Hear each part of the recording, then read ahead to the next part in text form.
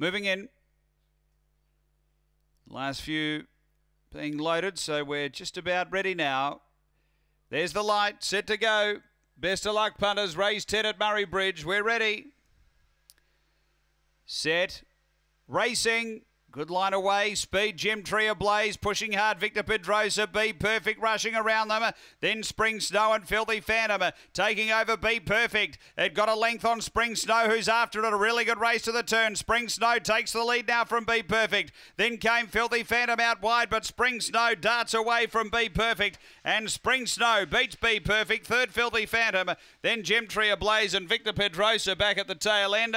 The time here is around 22 and 60. 22.58 the run, and Spring Snow just able to be close enough early. And then she uh, railed the ears off Be Perfect coming to the bend and was too good in the run to the line. Number